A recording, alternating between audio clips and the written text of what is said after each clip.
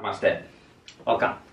One of the most important goals when we practice the hatha yoga elements of uh, asanas or yoga poses and movements, as well as the breathing works, especially the cleansing ones and the energy producing methods, is for us to uh, not only strengthen and build structural integrity, but to uh, open the inner pathways of our energy uh, in preparation for the energy to flow. So most of these are energy producing methods, especially the first year of the practice. Right? So we don't want to be forcing our body to practice, for example, uh, deep asanas or complex asanas, which requires to go uh, far and beyond the average range of motion physical body. Otherwise, if we are not prepared you know, to handle not just the physical pressure, but of course um, the regulation and the control of the breath. Right, there's a huge possibility of putting the pressure inside our vital organs. So for today, I will be sharing with you a simple, this is my favorite actually, I still practice this elements up to this very day. And this comprise most of my warming up process. You know, if I want to go deep, uh, tackle some deeper aspects of the practice later on, but it's a good practice on its own already.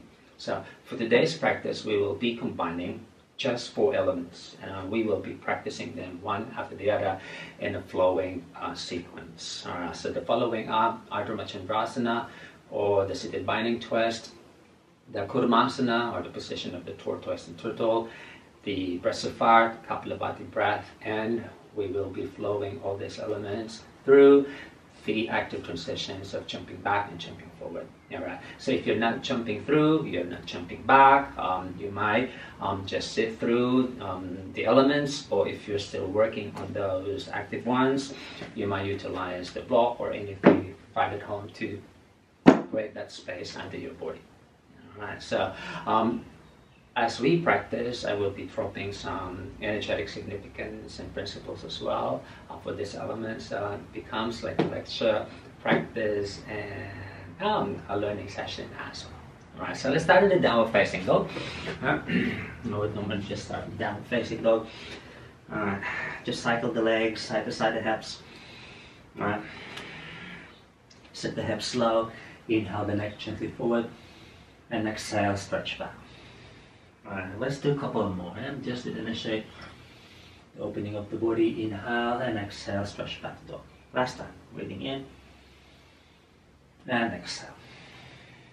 Alright, just cross the right knee through to the tops of the mat to the pigeon position. Alright, and from there, and we just open the upper spine by lifting the breath up. Inhale to open, folding the elbows to the sides, and exhale. Right, breathe in, So draw it from that left hip to the side of the trunk and up to the tops of the neck.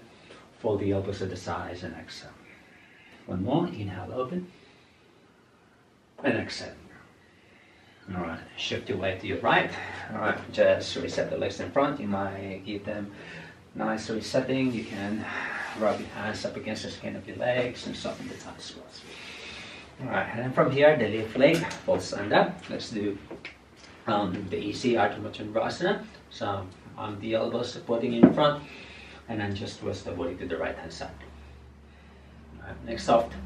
In the Ardha Chandrasana, actually, you don't want to be bouncing the chest forward. Rather, um, although you are lifting the spine up to the vertical, right, you want to fold yeah, the inner body, so like you're twisting inside your own body. Energetically, what happens here as you inhale, inspire the breath, it goes down to uh, between the second or the third and the fourth chakra, and then you're drawing your own energy up, the sensation rising up. I've talked about this many times, and those two forces of energy meet here. And then when you hold the position, somehow you keep that energy growing, that space between the um, um, belly button and just a little bit higher than um, the big ribs, around the core area energetically it's between the third and the fourth chakras of the spine. And you're holding about five breaths. Just control the breath here so you don't be dumping the weight down. So like you want to filter the exit of the breath so you keep the sensation hollow inside. Alright, cross, Alright, slide back again to your downward facing dog. Alright, and cycle the legs here. All right, bend the hips, inhale the neck forward a bit. Exhale, stretch back. Breathing in, breathing out. One more, inhalation, exhalation. All right, next, the lift knee through the sit position. Right, so the right hip is open down behind us. Right. open the collarbones apart and then draw the breath all the way to the tops of the throat. Just inhalation and exhale fold. All right, lighten your back hip a bit. Move the hips around. Exhale and fold. One more. Inhale, open. And exhale. All right, release the body. All right, side to side the hips.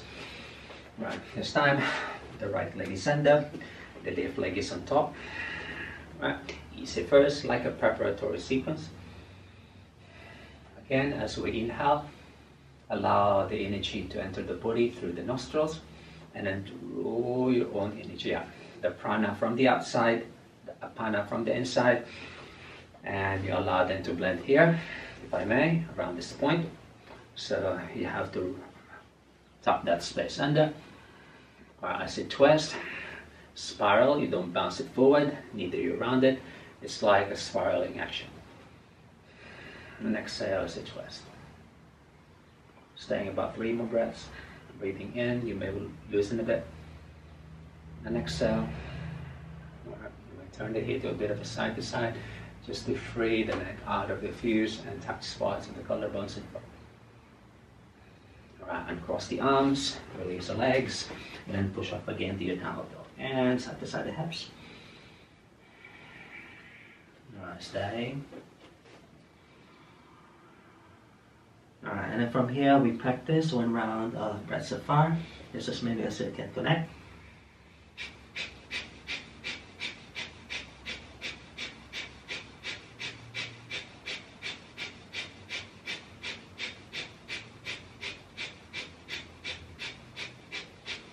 Inhale, exhale. Alright, let me just adjust. Inhale, soften. Alright, crossing the legs actively to the front. Alright, if you're not jumping, this is your modification, hover and then set, or you can start to fit your legs through between your arms and then like I said, or oh, you may use the book. And then from there, right, we're gonna open the legs apart. Right? Preparation for the Kurmasana, Upavishta Konasana, Konasana first, angle. Breathe out the spine. Exhale, down. Coil inward, draw up and you float easy down. Alright? Or you might want to try the full Upavishta Konasana with the chest down the earth. Most of these are preparatory or the easy alternative for the full positions later on.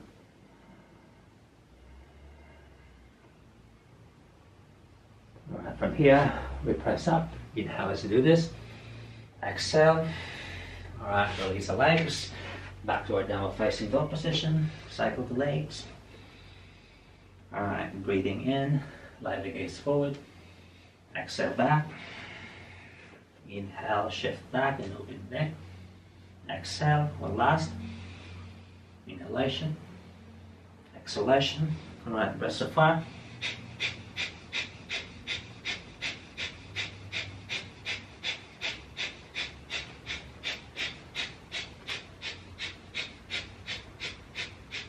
Clip. Exhale up, Alright, inhale, bend the knees. Alright, jumping to cross leg position. The top of that inhalation, if you see, or as you breathe, or halfway through it. Inhale. Hover. Alright. Bend the legs through, between the arms, and then set. Alright. Now bend your right leg, or the left leg under. The right leg is on top. Right now, Do the full Ardha Machandra Breathe up, hang as a spin. the top of that inhalation, initial bind, readjust, exhale, fold this in, draw it up. Right. And the reaching hold of the foot. Remember, you don't bounce it forward. Inhale, draw in and up. Exhale, twist around.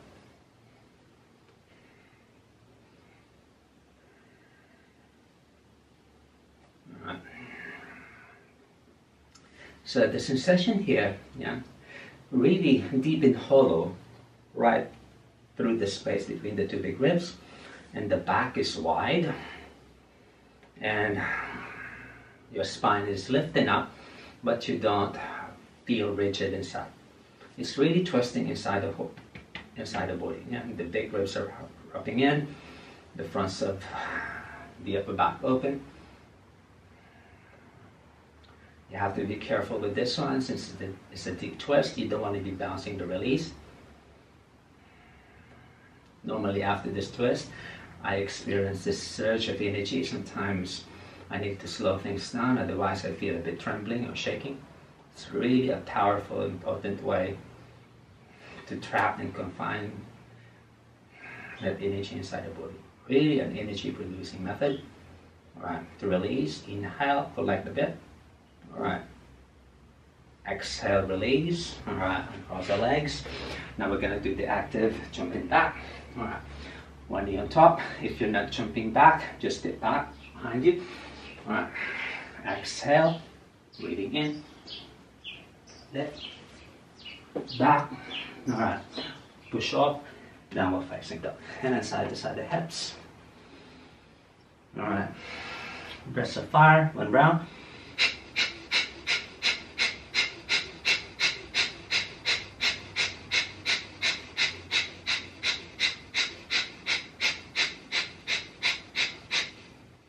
exhale the first air out. You may want to loosen that. You may repeat the cross leg jump through or the straight legs one already. Exhale, preparing inhale. Root the set. Alright.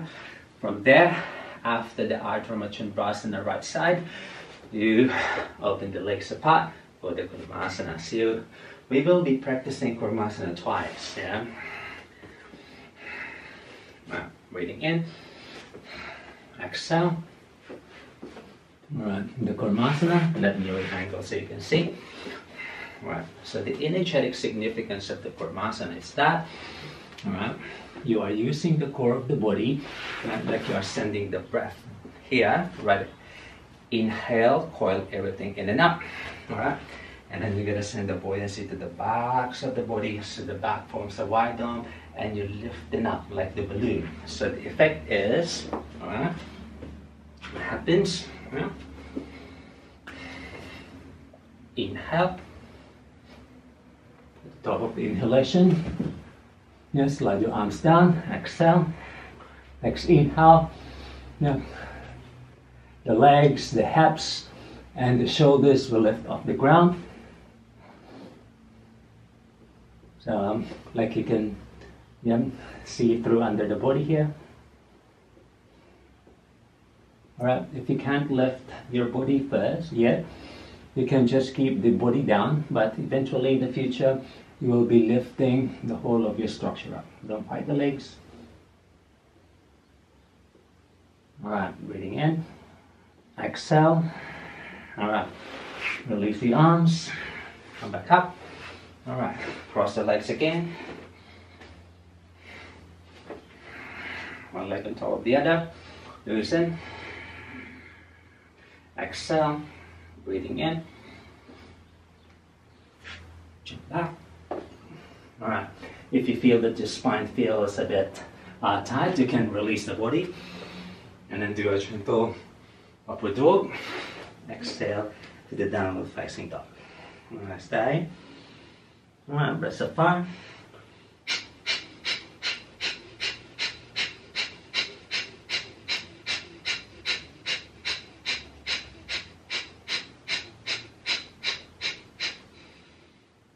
Exhale in, cross legs or straight leg jump through. Alright, coming through now.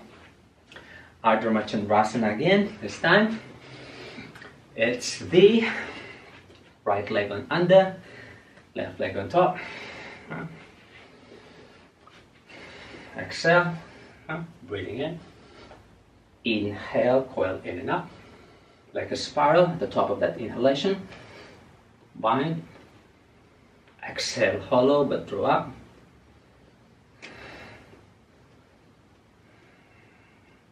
Alright, let me lift my shirt up so you can see at least the external manifestation of how to confine the energy. All right. Inhale.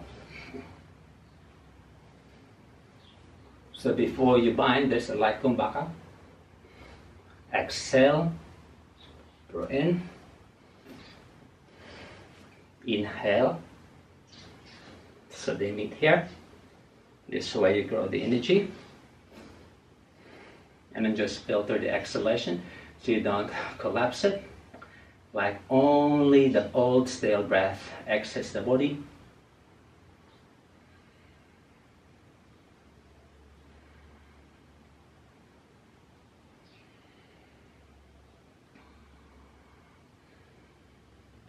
You may narrow the pathway of the throat.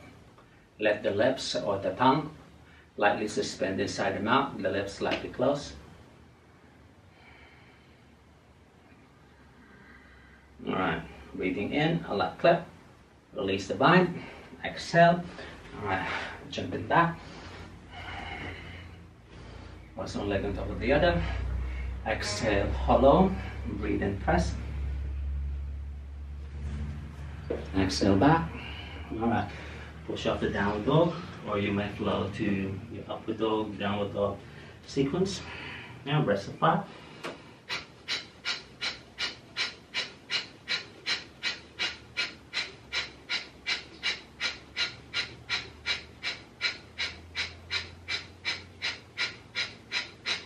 Exhale. Good. Sit up. Exhale, crouch. Jumping through at the top of that inhalation or halfway through it, or as you breathe through the motion. Alright, this set position. Alright, Kurmasana. Second round. Okay. Breathing in, coil in and out. Exhale. Prepare. Inhale. So the buoyancy goes to the backs of the body. And then you might find some more lightness and space here. Elevate the hips. You can elevate the whole body actually. Control the exhalation so you don't lose the lightness. You're holding about three, five breaths here.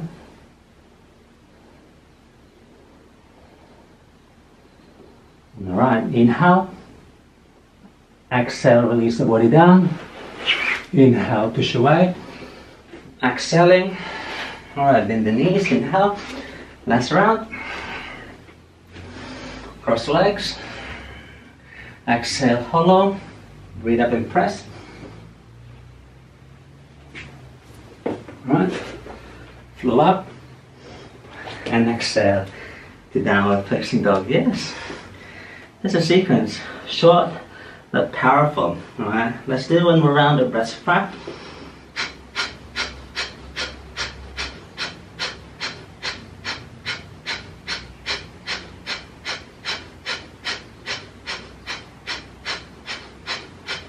Alright, exhale fully. Yeah. Last round of the sit through. Inhale. Wait the sit. All right, exhale, breathe up, and exhale. Just hold forward. Now let me just adjust.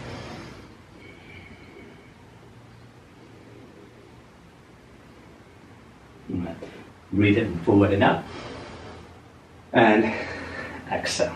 All right, good. So that's uh, basically the concept of um, the program. Um, this one round, uh, I would normally do about two rounds of that sequence.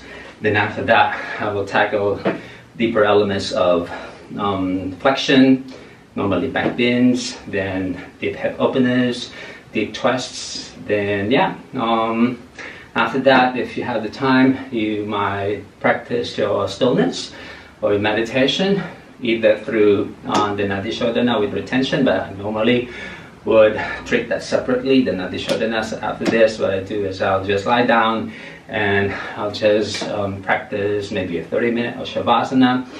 If there's a time, I will progress it to some deeper absorption. But yeah, um, otherwise, it's a good practice on its own already. Yeah, it's very energy producing, really meditative as well, since you have to really be focusing on the elements and not get distracted. Um, the energy is flowing intensely inside, so you can actually feel it.